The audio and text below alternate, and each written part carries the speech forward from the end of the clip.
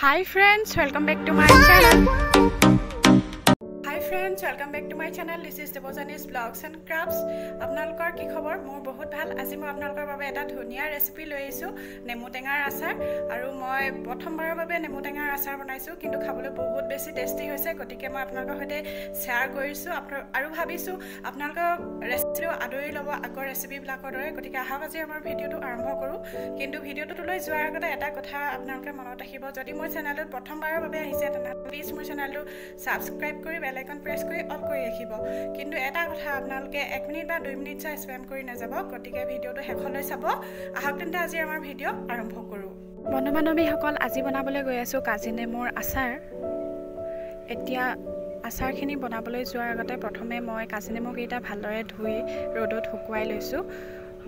কাজি নেমুকেইটাৰ পৰা যিখিনি গাত পানী লাগি আছিলে ধুওঁতে সেইখিনি মই কাপোৰ এখনে মচি অলপ দেৰি ৰ'দত দিছোঁ আৰু এনেদৰে দুই মূৰ মই কাটি লৈছোঁ।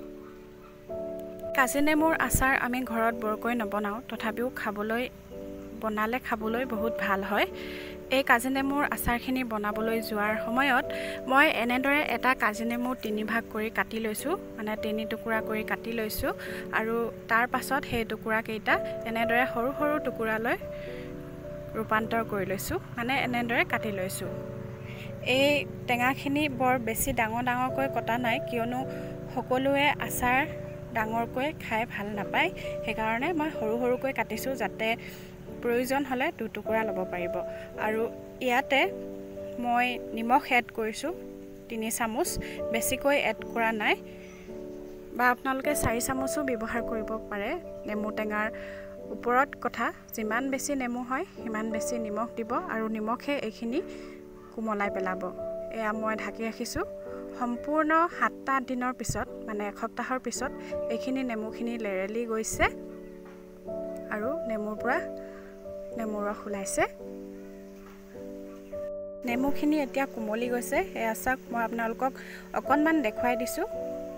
বাকলিখিনিও অকণমান কোমলি গৈছে এতিয়া আচাৰ বনাবলৈ উপযুক্ত হৈছে। এই নেমুখিনি এতিয়া মই বেলেগ এখন কাঁহীত লৈ অকণমান সময় ৰ'দত দিম। এয়া চাওক মই এখন ডিছলৈ লৈ লৈছোঁ আৰু এতিয়া এইখিনি অকণমান সময় ৰ'দত দি ৰাখিম। এইখিনি সময়তে আমি মছলাখিনি প্ৰস্তুত কৰি ল'ম। এই মছলাখিনি মই মিক্স মছলা লৈছোঁ। ইয়াত গোটা ধনিয়া গোলমৰিচ চফ আৰু ইয়াতে আছে সৰিয়হ বগা সৰিয়হ। এইখিনি এতিয়া মই কেৰাহী এখনত ভালদৰে গৰম কৰি লৈছোঁ। গৰম কৰি লোৱাৰ আগতে মই ভালদৰে ধুই ৰ'দত শুকুৱাই লৈছোঁ। এতিয়া এইখিনি মছলাখিনি অলপ অলপ ফুটিছে গতিকে হৈ গৈছে। মই এতিয়া এইখিনি গ্ৰাইণ্ড কৰি ল'ম। আৰু সম্পূৰ্ণ গ্ৰাইণ্ড নকৰোঁ অলপ দখৰা দখৰি হৈ থাকোঁতে বন্ধ কৰি দিম মেচিনটো। আচাৰৰ বাবে আৰু প্ৰয়োজনীয় বস্তু মই লৈছোঁ এয়া লাল মিৰ্চ লৈছোঁ ৰংটোৰ কাৰণে। এইখিনি মই যিখিনি মছলা খুন্দি ল'লোঁ সেইখিনি। আৰু এয়া হৈছে ভোট জলকীয়াৰ আচাৰ। মই আপোনালোকক এই ভিডিঅ'টো শ্বেয়াৰ কৰিছোঁ। আপোনালোকে যদি আগতে চোৱা নাই তেন্তে মই লিংকটো ডেছক্ৰিপশ্যনত দি দিম নহ'লে আই কাৰ্ডত দি দিম। আৰু এতিয়া এইখিনি মই বনাবলৈ লৈছোঁ। ইয়াতে মই দুচামুচ লাল মিৰ্চ দিছোঁ। এয়া চাওক। বহুত বেছি নহয় নেমু টেঙাখিনি সেইকাৰণে মই কমকৈ লৈছোঁ। আৰু মিক্স মছলা দুই চামুচ মিক্স কৰিছোঁ। এইখিনি হৈছে মিঠাতেল। মিঠাতেলখিনি মই আচাৰত ব্যৱহাৰ কৰাৰ আগতে ৰ'দত ভালদৰে গৰম কৰি লৈছোঁ। মই গৰম কৰি লৈছোঁ। চাহ কাপেৰে এক কাপ মই লৈছোঁ। এই যিটো ৰ'দত কৰি লোৱা। বস্তু মই মীনাক্ষী কিটচেন বাইদেউৰ পৰা শিকিছিলোঁ ভিডিঅ' চাই চাই। তেওঁৰ নাম ল'ব লাগিব। আৰু ইয়াতে মই এড কৰি দিছোঁ।